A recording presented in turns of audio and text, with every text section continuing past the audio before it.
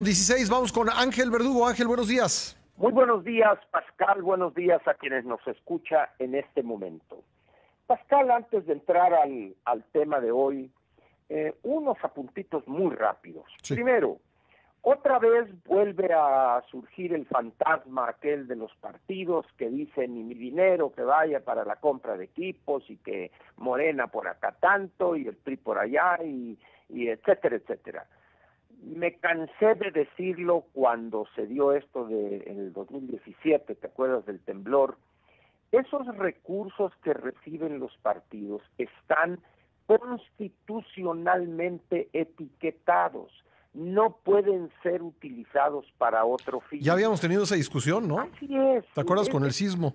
Efectivamente, yo no entiendo cómo los partidos políticos, en ese afán demagógico, esos recursos, si tú no los utilizas como partido político, Pascal, tienes que dárselos a la tesorería de, la federación y van a lo que se llama el fondo general. Nada de que, a ver, yo te los regreso, pero compra respiradores. No, señores, no es así, por favor, entiéndanlo. Los partidos políticos no pueden utilizar esos recursos para sus actividades ordinarias y dárselo a personas individualmente, eso es ilegal, es violatorio de la ley, eso. Pero en fin, que se entretengan con eso, eso es el primer apunte.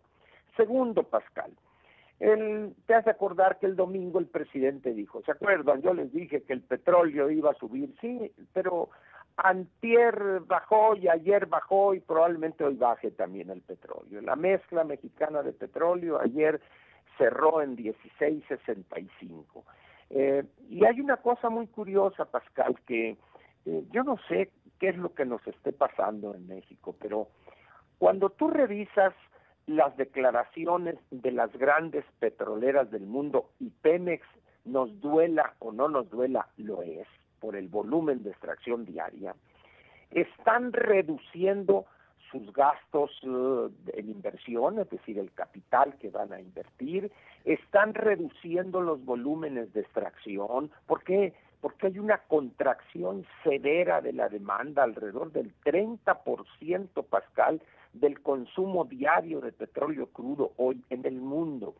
Somos la el único país con la petrolera que está en el camino opuesto y vamos a duplicar la inversión y vamos a extraer más.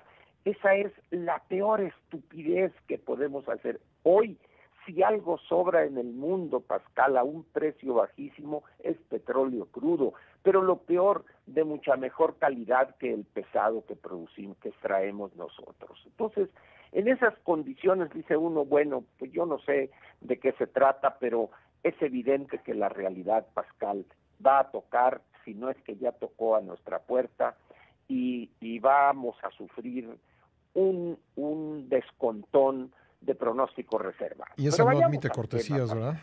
Mira, tú no por edad, pero por tu trabajo profesional, sabes de lo que pasó en la docena trágica.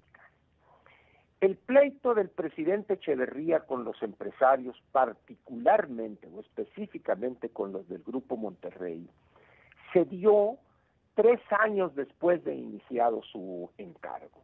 Allá por el septiembre de 1973, con el asesinato eh, de los eh, integrantes, eh, si no mal recuerdo, de la Liga 23 de septiembre, donde incluso estuvo involucrado el hermano de la hoy actual eh, presidente de la, de la CNDH. De la CNDH, este joven Jesús eh, Piedra Ibarra.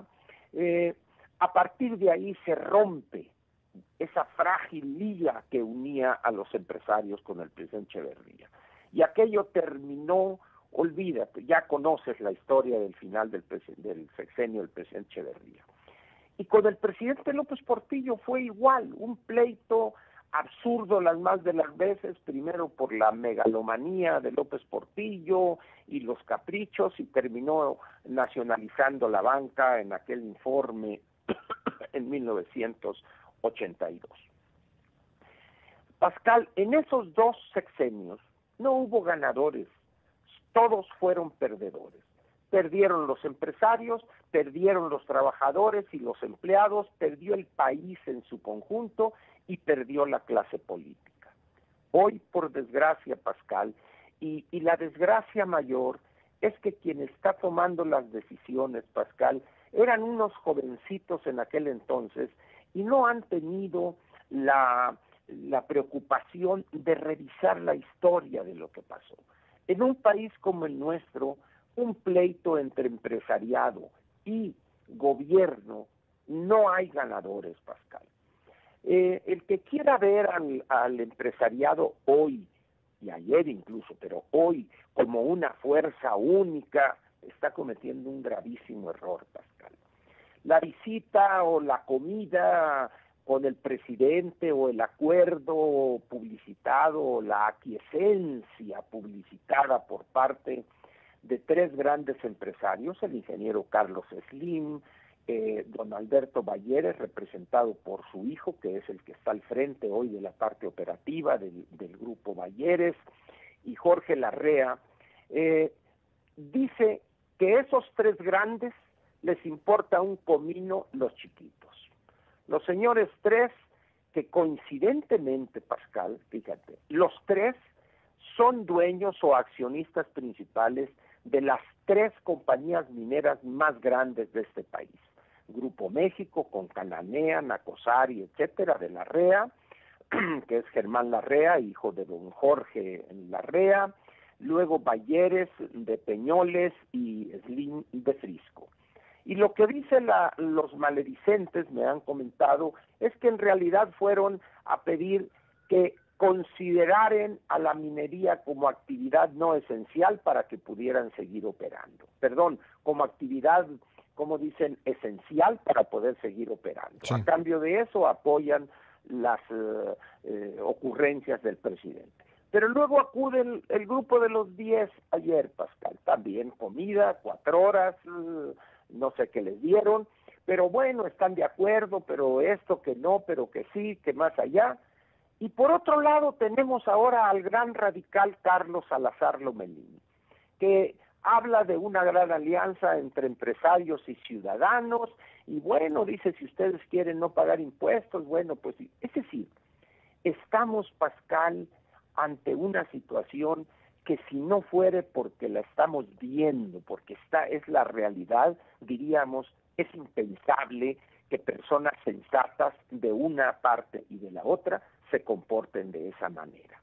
¿Acaso piensa en verdad Carlos Salazar que los millones de ciudadanos van a creer en él después de las muestras de abyección que ha dado desde que tomó posesión como presidente del Consejo Coordinador Empresarial, si lo que debería hacer, pienso yo, o que no le queda otra salida es agradecer, agarrar sus cosas e irse a su casa y que los empresarios, las cúpulas pongan a una persona adecuada para las nuevas condiciones, que es un franco enfrentamiento entre un grupo de empresarios, porque los grandes esos ya se alinearon, Pascal, pero no es Carlos Salazar el adecuado.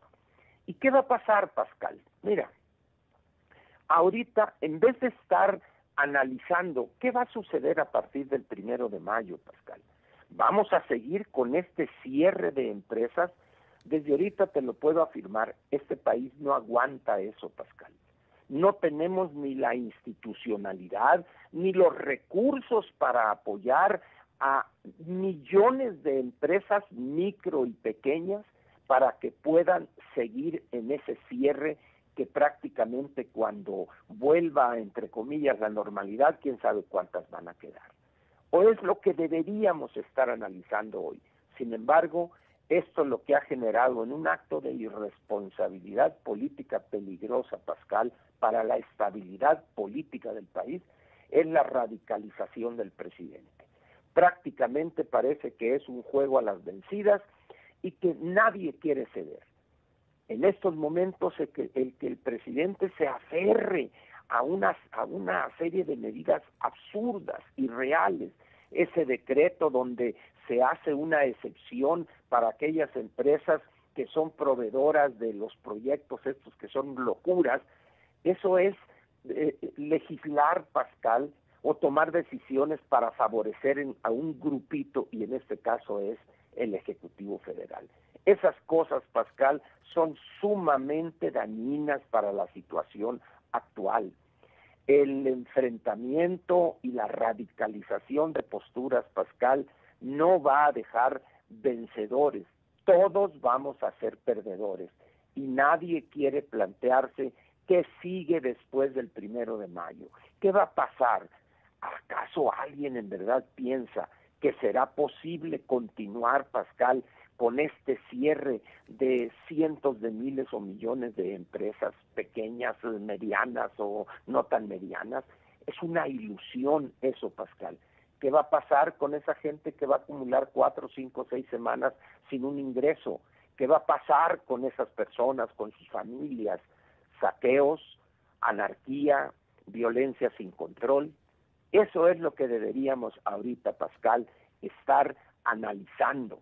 Sin embargo, pues la realidad es otra, ahí está, y quién sabe dónde vaya a parar. En este tipo de conflictos, para terminar, Pascal, se sabe dónde comienzan, pero jamás se sabe dónde pueden terminar. Ángel, muchas gracias. Nos escuchamos mañana, Pascal, y el viernes de manera normalita. De manera normal, así es. Gracias, Ángel. Un fuerte abrazo. Ahí tienes el comentario de Ángel Verdugo.